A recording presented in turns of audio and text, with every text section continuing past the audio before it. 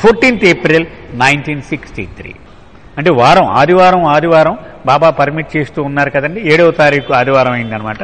మళ్ళీ పద్నాలుగో తారీఖు నెక్స్ట్ ఆదివారం. As soon as one entered Baba's room one could feel that the atmosphere was very tense Baba సమక్షం ఎలా ఉంటుందంటే పొద్దున్నే ఫ్రాన్సిస్ బ్రాబజాన్ని చదువుకున్నాం. ఒకసారి సూర్యుడిలాగా తీక్షణంగా ఉంటాడు. ఒకసారి చంద్రుడిలాగా చల్లగా ఉంటాడు. ఆయన. ఈ- ఈ కొస నుంచి ఈ కొసకి క్షణంలో మారిపోతూ ఉంటాడు ఆయన. ఒక్క క్షణంలో చల్లగా ఉంటాడు. ఒక్క క్షణంలో ఒగ్గర నరసింహం. వీళ్ళంతా తలుపులు వెనక్కి దా పారిపోయి నక్కి ఉండేవారట.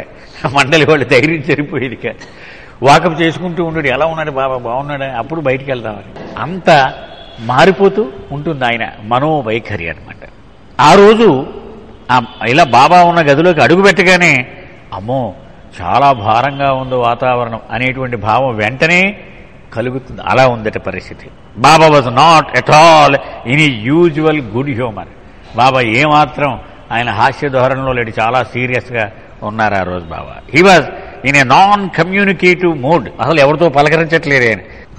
His fingers moved about ceaselessly ఆయన వేళ్ళు ఇలా ఇలా చాలా వేగంగా కదిలిస్తూ ఉన్నాయి. అని never glance at those who were seated in the room అసలు ఎదురుగా కూర్చున్న వాళ్ళు ఎవరికేసి చూడలేదు ఆయన. వాళ్ళ మొహాలకేసి అసలు చూడటం లేదట ఆయన. ఎటు చూస్తూ ఉన్నాడు ఆయన. From his face one could judge that the burden of the work was tremendous ఆయన మొహం చూస్తే చాలా అలసట కనపడుతోంది. అంటే ఆయన విశ్వ కార్యక్రమం యొక్క భారము చాలా తీవ్రంగా ఉందన్నమాట ఆయన మీద ఆ ప్రభావము అని మనకి అనిపిస్తుంది. He suddenly గెస్టెడ్ that the burden had been very great since yesterday అప్పుడు సౌమ్య చేశారు బాబా నిన్నటి నుంచి భరించలేనంత భారం నా నెత్తి మీద ఉంది అన్నారు. At eight twenty AM he asked me the time బరుచాని అడిగారు. టైం ఎంత అయిందని అడిగారు. ఎనిమిది ఇరవై బాబా. In the fifteen minutes that followed he must have asked a dozen lovers what the time was ఇక ఎనిమిది ఇరవై నుంచి ఎనిమిది ముప్పై వరకు పది మందిని పన్నెండు మందిని అడిగాట టైం ఎంత? టైం ఎంత? టైం ఎంత? The importance of those minutes he alone knew అంటే ఏదో ముహూర్తం పెట్టుకున్నాడు ఆయన దేనికో అది మనకు తెలియదు అది. ఆయన ఒకరికే తెలిసింది. ఆ క్షణం యొక్క విలువ ఏమిటనేది మనకు తెలియదు. మనం వాచ్ చూడడమే తెలుసు మనకి. కానీ ఆయన వేరే ప్లాన్ ఉంటుంది. But I could not help thinking that some great event must be taking place somewhere in the cosmos. నాకు వెంటనే నాకు మెరిసింది బుర్రలో. ఈ విశ్వంలో ఎక్కడో ఏదో ఒక చాలా ఘనమైనటువంటి ఒక సంఘటన జరిగిపోతూ ఉంది. దానికి ఏదో ముహూర్తం పెట్టుకున్నాడు ఈయన. దాని గురించి ఈయన ఎంత ఆందోళనలో ఉన్నాడు. After eight thirty five AM he began asking us as usual if we had slept well the night before when we arrive in Poona సరిగ్గా ఎనిమిది ముప్పై ఐదు అయింది అని మామూలు అయిపోయాట ఆయన. "ఆ, ఏమో బాగున్నావు? రాత్రి బాగా నిద్రట్టిందే అని మామూలుగా ఆయన సామాన్యమైనటువంటి ఆ సరళిలోకి వచ్చేసాడు ఆయన. ఈవిడ ఎలా ఉన్నావు? పునా వచ్చిన తర్వాత నీకు నిద్ర బాగా పడుతోందా? అని అడిగారు. He told us quoting a couplet of Hafiz Hafiz పద్యం ఒకటి చెప్తూ ఇలా అన్నారు. If you want the beloved remember him always forgetting everything else నీకు ప్రియతముడే కనుక కావాలి అంటే అన్యమైన విషయాలన్నింటినీ విడిచిపెట్టి సదా ఆయన ఒక్కడినే జ్ఞాపకం పెట్టుకో. అంటే అన్నింటినీ జ్ఞాపకం పెట్టుకున్నా ఉంటే కుదరదున్నాడు నేను ఎవడో ఒకడే. There is no need to be bodily near the beloved ప్రియతముడికి పక్కన ఇలా అంటు పెట్టుకుని ఉండాలని ఎప్పుడూ అనుకోకు నువ్వు. అదేం అవసరంలా just remember him with love కావలసిందల్లా ప్రేమతో ఆయనను స్మరించడమే. బాబా అనేక పర్యాయాలు చెప్పారు. భౌతికమైన సాన్నిహిత్యము అది ఆధ్యాత్మికంగా అవసరం లేదు. చివరిలో కూడా పంతొమ్మిది వందల అరవైవ దశకం అంతా కూడా పదేళ్ళు పదేళ్ళు బాబా ఏకాంతవాసంలోనే గడిపారు. ఎప్పుడైనా కలిసినప్పుడు ప్రేమికులు అడుగుతూ ఉండేవారు బాబు ఇదేమి ఏకాంతవాసం? అయ్యా పది సంవత్సరాలా? అంటే మిమ్మల్ని చూడొద్దా? మేము నీ దగ్గర రావద్దా? నిన్ను ఆలింగనం చేసుకోవద్దా? ఇలా అడిగితే అప్పుడు బాబా దానికి వివరణ ఇచ్చారు. ఆయనకు అప్పటికి అరవై ఏళ్ళు పైన కదా వయసు ఉంది కదా. డెబ్బై అర- అరవై డెబ్బై ఏళ్ళు అప్పటికి అనుకున్నా. ఈ డెబ్బై ఏళ్ళలోనూ మీకు భౌతిక సాన్నిహిత్యాన్ని నేను ప్రసాదిస్తూనే ఉన్నాను. ఎందుకని? నాతో మీరు సంబంధము నెరపడం కోసం. కానీ ఎప్పటికీ దేహాన్ని ఇలా ఉంచుకుని ఉండడం నాకు కుదురుద్దా? కుదరదు. కాబట్టి నా బాహ్యమైనటువంటి ఈ సన్నిధానముకే నీవు అలవాటు పడిపోతే ఇది రాలిపోగానే నీ కనెక్షన్ కూడా రాలిపోదు. అంచేత నేను వేరే ఏర్పాటు చేస్తూ ఉన్నానన్నారు.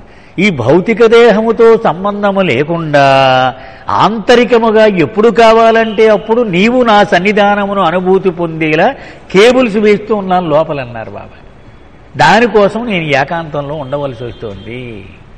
ఇప్పుడు బాహ్యముగా మాత్రమే మీకు అందుబాటులో ఉన్నటువంటి ఈ సన్నిధానం అనే అవకాశము ఆంతరికంగా సదా నీవు తలుచుకున్నప్పుడల్లా ఇది ఏర్పాటయ్యేలా నేను చేసేస్తున్నాను ఇంక నీకు నా భౌతిక హాజరుతో నీకు సంబంధం లేదు పని లేదని అదే ఇక్కడ బాబా చెప్తున్నారు భౌతిక సన్నిధానము అదేమీ అవసరం లే ప్రేమతో ఆయనని స్మరిస్తే అది చాలు he also doctor Deshmukh to recite some sands Sanskrit verses అప్పుడు దేశ్ముఖుని లేచి నిలబడమన్నారు. అది ఏదో సంస్కృత వచనం చదవరా అన్నారు.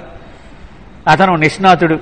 చదివాడు after he had finished reciting Baba explain అతను ఆ సంస్కృత శ్లోకం చదివిన తర్వాత నేను చెబుతాను దాని అర్థం ఏమిటో అన్నారు బాబా. I have left the proper state and come down to your level నా ఆదిమూల స్థితి ఏమిటి? పరాత్పర పరబ్రహ్మ స్థితి. టెన్ స్టేట్స్ ఆఫ్ గాడ్ మనం గాడ్ స్పీచ్లో చదువుకుంటే మొట్టమొదటి స్థితి పరాత్పర పరబ్రహ్మ స్థితి. అక్కడ ఏమీ లేదు. సర్వము లేదు శూన్యము లేదు అంతా ఉన్నది అచైతన్యము మాత్రమే. భగవంతుడు ఉన్నాడు అని ఒక్క లక్షణము దానికి చెప్పొచ్చు.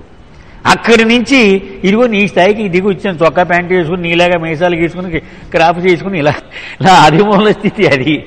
అక్కడి నుంచి నీ లెవెల్కి దిగి వచ్చాను నేను.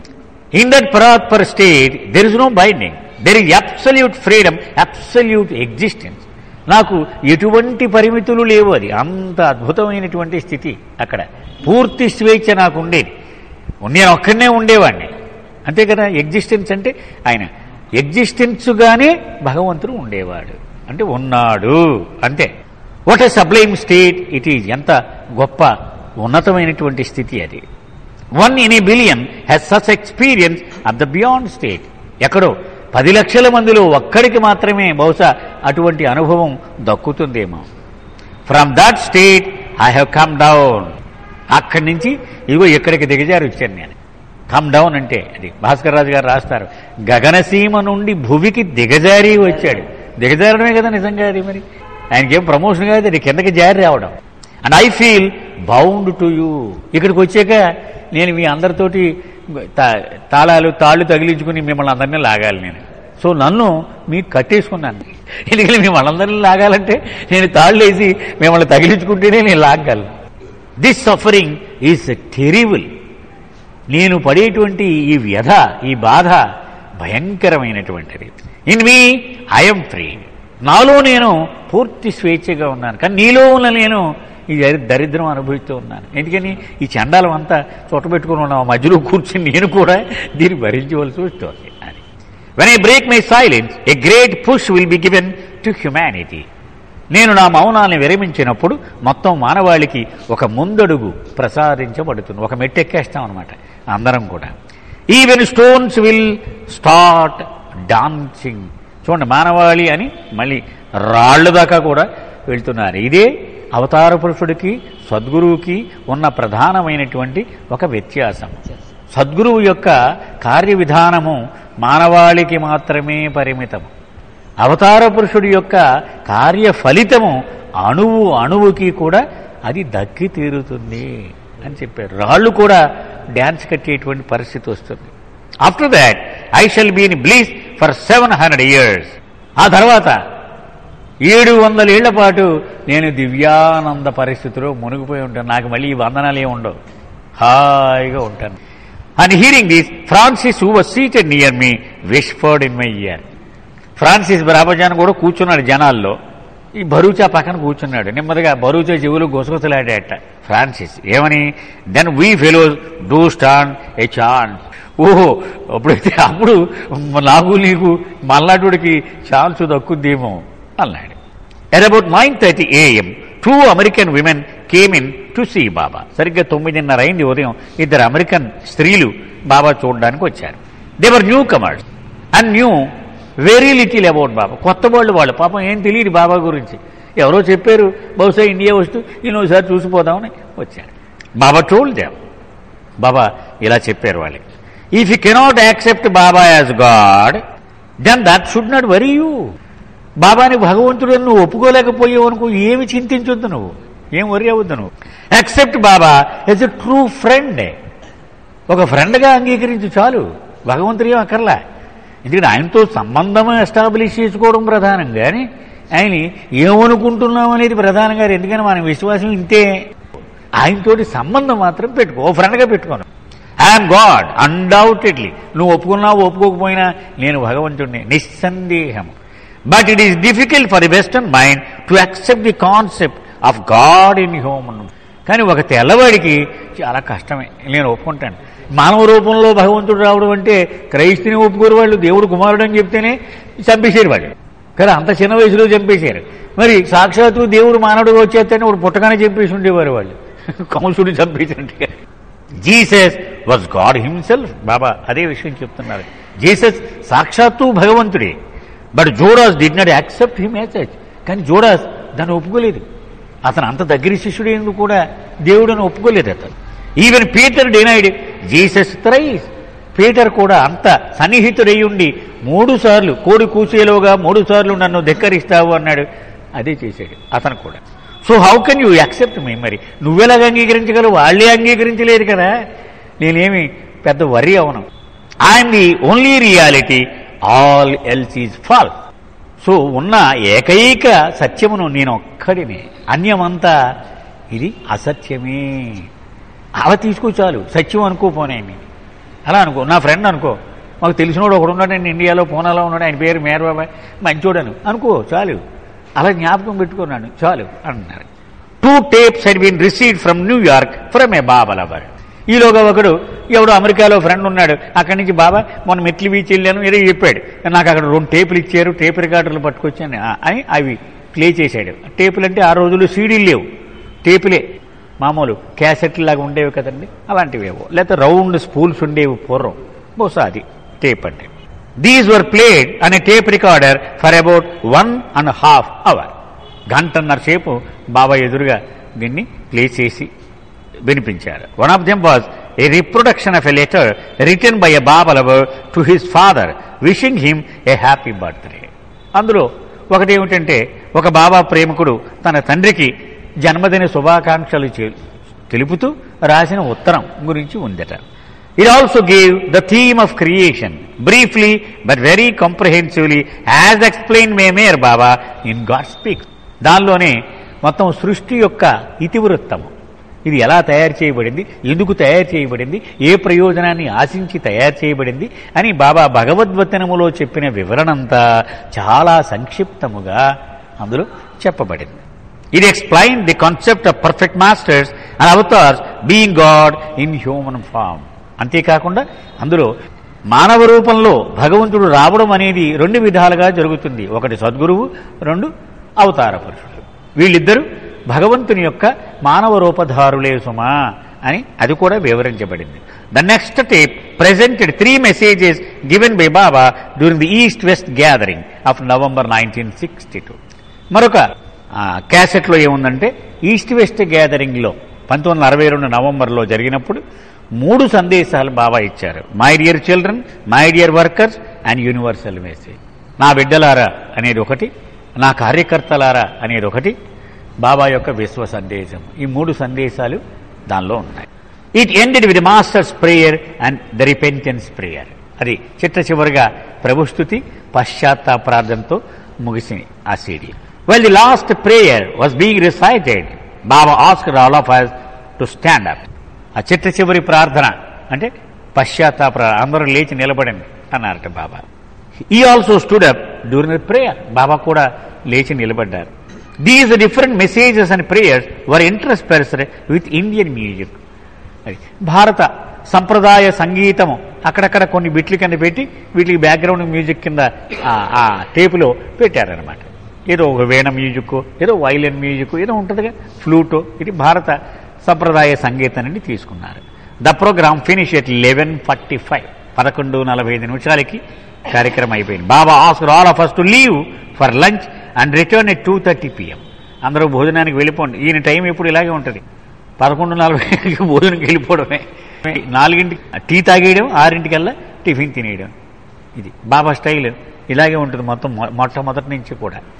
మళ్ళీ రెండున్నర కల్లా రమ్మన్నారు Baba. In afternoon before Baba came into the assembly hall of Guru Prasad he received some lovers who had come from Andhra Baba వచ్చేలోగా రెండున్నరకి మీటింగ్ హాల్లోకి వచ్చేలోగా ఆంధ్రులు కొంతమంది వచ్చారు వాళ్ళని కలుసుకున్నారు బాబా. And also a sadhu who had come for his darshan. ఒక సాధువు కూడా వచ్చాడు బాబా దర్శనాన్ని ఆశించి అతను కూడా కలుసుకున్నారు. దిస్ సాధు హెయిల్ ఫ్రమ్ మౌంట్ అబు రాజస్థాన్లో ఉన్నటువంటి మౌంట్ అబు ప్రాంతం నుంచి వచ్చాడు. Where he had spend fifteen years in penance అక్కడ ధ్యానం తపస్సు చేస్తూ పదిహేను ఏళ్ళు కఠోరమైన సాధన చేసి అప్పుడు ఇక్కడికి వచ్చాడు. He had a long beard చాలా పెద్ద గడ్డ ఉంది అతనికి. And his hair fell over he shoulders ఈ భుజాల మించి ఇలాగ జాలువారుతూ ఉంది అతని తల జడలు కట్టి. He told Baba that he had long wish to have he darshan ఎన్నాళ్ళ నుంచి నీ దర్శనం కోసం తప్పిస్తున్నాను ప్రభు అని చెప్పాడు బాబాతో. Baba told him I'm in your heart వారి పిచ్చోడ నా దర్శనం కోసం నీ హృదయంలో చూడగలను బయట ఇటుకి వీడి అక్కడే ఉన్నాను నేను. నా అడ్రస్ అదే. నేను నీ హృదయంలోనే ఉన్నాను అని చెప్పారు. And the wall of the room was a board carrying a Marathi verse from poems of Sant Tukaram ఆ గురుప్రసాద్ గోడల మీద మహారాష్ట్రకు చెందినటువంటి సంత తుకారాము రాసిన కొన్ని మరాఠీ పద్యాలు రాయబడి ఉన్నాయి. ఆ బోర్డులు కట్టి ఉన్నాయన్నమాట. Baba asked his lovers from Andhra if they could read it. ఈ ఆంధ్ర నుంచి వచ్చిన ప్రేమికులు ఉన్నారు మన వాళ్ళు అక్కడ. ఎవరో మీరు అదేమని చదవగలరా మీరు? మీకు ఏమైనా అర్థమవుతుందా? అని అడిగారు. He then began to explain the verse సరే ఏం వరి అవ్వకుండా నేను చెప్తాను కదా అని దాని భావాన్ని బాబా చెప్పారు. Many hypocritical saints have long hair ఎదురుకుంటా సాధువు ఉన్నాడు. ఇక్కడ వీళ్ళు ఆంధ్రులు వచ్చారు వాళ్ళకి ఆ బోర్డు ఎక్స్ప్లెయిన్ చేసి చెప్తున్నారు బాబా సన్నివేశం. Many hypocritical saints have long hair and who smear that bodies with ashes చాలా మంది కపటపు సన్యాసులు ఉంటారు దొంగ సాధువులు. వాళ్ళు పెద్ద పెద్ద జడలు పెంచుకొని బూడిది రాసుకుంటారు ఒళ్ళంతా. తుకారాం సేజ్ వాళ్ళ గురించి ఇలా చెప్తున్నాడు తుకారాం. ఆ పద్యం అది. Let their dead conscience be burned వాళ్ళు మృతప్రాయమైనటువంటి వాళ్ళ అంతరాత్మని మనం మసి చేసేద్దాం. Even to thrash them is no sin వాళ్ళు కొరడ పట్టుకుని కొట్టి కూడా ఏమి పాపం అంటుకోదు. అని తుకారాము స్వయంగా ఆ రాసినటువంటి పద్యం అక్కడ ఉందన్నమాట. అది చదివి చెప్తున్నారు Baba. Tukaram though he was love incarnate మూర్తీభవించిన ప్రేమ అతనికి అసలు కోపం రాదు తుకారామకి. బాబా చెప్తున్నారు. But still he could not tolerate hypocritical saints అంత ప్రేమమయుడయుండి కూడా కపటపు సాధువును చూస్తే భరించలేని పరిస్థితి. అంచేత అంత కోపంగా అతను రాశాడు దాన్ని. Ninety percent of the so called saints know nothing about the spiritual part ఖరాఖండిగా Baba చెప్పేస్తున్నారు ఇందులో మనమేమి వెనక్కి ముందుకి ఊగిసలాడవలసిన అవసరం లేదు. నీకు కనపడిన సాధువులలో తొంభై శాతం మంది ఆధ్యాత్మిక మార్గం అంటే ఏమిటో తెలియని వాళ్ళే. In northern India such bogus saints abound ఇక ఉత్తర భారతం వెళ్ళావా? ఇంక చెప్పక్కర్లేదు నీకు. ప్రతి సందులోనూ వెళ్ళే. ఈ దొంగ చదువులే నీకు తారసపడుతూ ఉంటారు. Out of ten percent who are genuine saints ఇప్పుడు నైంటీ పర్సెంట్ తీసేస్తే ఇంకెంత మిగిలినారు పది శాతం మిగిలారు. వీళ్ళు అసలు సిసలైన సాధువులు అనుకుందాం. వీళ్ళలో there are only five perfect masters ఐదుగురే అసలు సచిన్ తెలిసిన వాళ్ళే. ఈ టెన్ పర్సెంట్లో వాళ్ళని సద్గురువులు అంటారు. And these five bring me down to this earth వీళ్ళే నన్ను ఈ భూమి మీదకి తీసుకొచ్చారు. The present five perfect masters will coming to public recognition only after I drop my body మరి ఆ ఐదుగురు వెళ్ళిపోయారు కదా అప్పటికి లేరు. పంతొమ్మిది వందల అరవై మూడు కంటే వీళ్ళు ఐదుగురు సద్గురువులు వెళ్ళిపోయారు. హజరత్ బాబాజాన్ జద్ది సాయిబాబా ఉపాసని మహారాజ్ తాజుద్దీన్ వీళ్ళంతా వెళ్ళిపోయారు కదా. మరి ఎవరు ఇప్పుడు ఎవరు అంటే చెప్తున్నారు. నేను దేహం చాలించిన తర్వాత కాలంలో వీళ్ళు గుర్తింపబడతారు. అప్పుడు దాకా వీళ్ళు బయటకు రారు. An atheist is better than a hypocritical saint ఒక కపటపు సాధువు కంటే ఒక నాస్తికుడు చాలా చాలా నయం. God is not to be found in the skies or in the Himalayas or in the hills of mount Abu భగవంతుడు అక్కడెక్కడో హిమాలయాకు పోతే అక్కడ అక్కడ ఉన్నాడా భగవంతుడు మరొక సందర్భంలో బాబా చెప్పారు ఏముంది హిమాలయాల్లో? చాలా కాలం క్రితం ఎంతో కొంత ఆధ్యాత్మికత ఉండేది. ఇప్పుడు రాళ్ళు రప్పలు మట్టి ఇంత ఐసు కండాలు అంతే ఉన్నాయి ఇంకేం లేదు అక్కడ. బాబా చెప్పిన మాటలు యథాతథంగా బాబా అన్నటువంటి మాటలు. అంచేత హిమాలయాల్లోనూ మౌంట్ అబుల్లోనూ ఉన్నాడు అనుకుని అక్కడ మకాం పెట్టేసి అక్కడ తపస్సులు చేసేసి ఏం ఉపయోగం లేదంటున్నారు బాబా. అక్కడ లేడు భగవంతుడు. He is in the hearts of every one ప్రతివాడి హృదయం అది ఆయన మకం. అక్కడ వదిలేసి నువ్వు బయట అంతా వెతుకుతున్నావు. Once your heart is clean I will shine out in it నీ హృదయం మకిలి పట్టేసింది కాబట్టి నేను కనిపించట్లేదు. భగవంతుని గుర్తించలేకపోతున్నావు. దాని గనక శుద్ధి చేసేవనుకో తళ తళ తళమని మెరుస్తాడు భగవంతుడు. ప్రతి హృదయంలో కూడా. సో దోషం నీది మెరవట్లేదంటే ఆయనగా తప్పు. But it is not easy to clean one's heart అయితే నేను ఈవేళ శుభ్రంగా డెట్ట పెట్టికి అడిగేస్తానంటే రాత్రి నానబెట్టేస్తానంటే అంత సులువు కాదంటున్నారు బాబా. నీ హృదయాన్ని శుద్ధి చేసుకోవడం అంత సులభం కాదు. It is as a difficult as a diving deep into a sea of fire ఒక పెద్ద అగ్నిగుండం మహాసముద్రం అంత అగ్నిగుండం ఉందనుకో దానిలోకి దూకేసి మళ్ళీ పైకి వచ్చేయడం ఎంత కష్టమో? అంతే కష్టం నీ హృదయాన్ని శుభ్రం చేసుకోవడం కూడా. One out of thousands of true lovers of God has such a courage వెయ్యి మంది నిజమైనటువంటి భగవత్ ప్రేమికుల్లో ఒక్కరికి మాత్రమే దీనికి కావలసిన దమ్ము ఉంటుందన్నారు బాబా. ఆ ధైర్యం. For he has become the dust of the feet of perfect master. వాడెవడయ్యా అంటే సద్గురు పాదాల దగ్గర ధూళి అయిపోయి జీవించిన వాడు వాడికి ఆ దమ్ముంటుంది only he has the right to ask to see God ఏడయ్యా దేవుడు కనపడేంటి అని అడిగి దమ్ము వాడు ఒక్కడికే ఉంటుంది. మిగిలిన వాడికి ఎవరికి హక్కు లేదంటున్నారు. ఎందుకంటే వీడి ప్రపంచాన్ని అంటి పెట్టుకుని దీనిలోనే మునుగుంటూ దీనిలోనే ఆస్వాదిస్తూ దేవుడు దేవుడు దేవుడు అంటే దీన్ని వదలకుండా. To love God is very very difficult. భగవంతుని ప్రేమించడం అంటే అంత ఆశామాచి వ్యవహారం కాదు. మనం చెప్పుకున్నాం కదా నేను దహించేస్తాడు ఆ ప్రేమ వీడిని దహించేస్తాడు.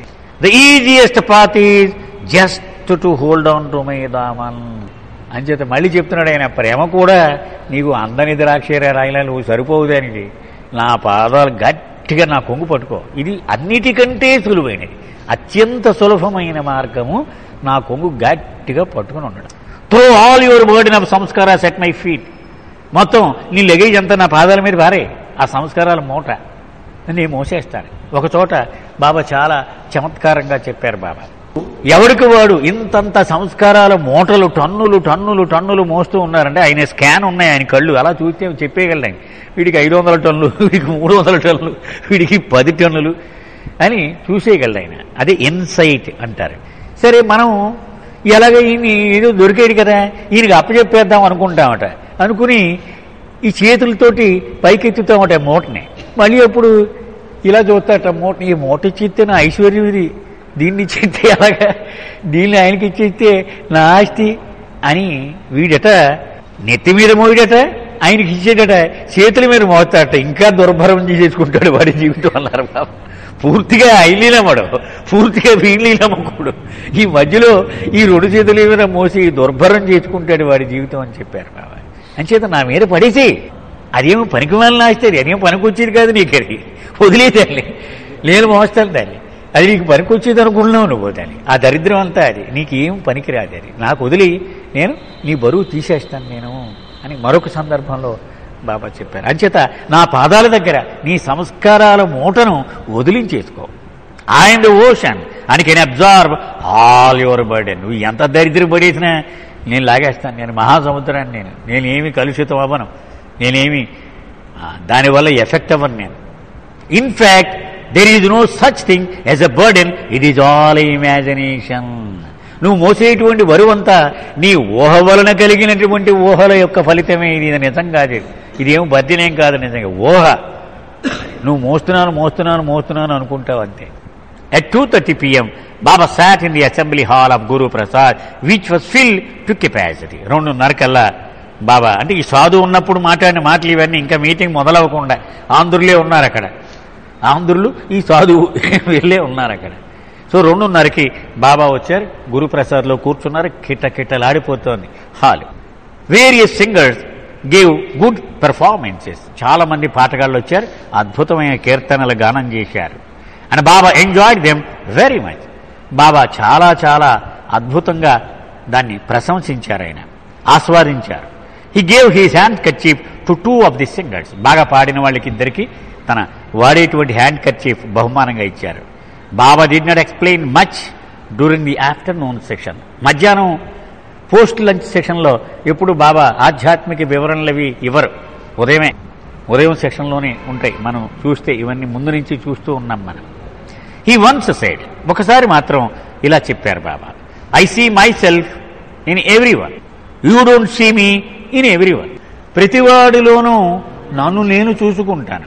కానీ నీవు మాత్రం ఇది నన్ను చూడవు నువ్వు.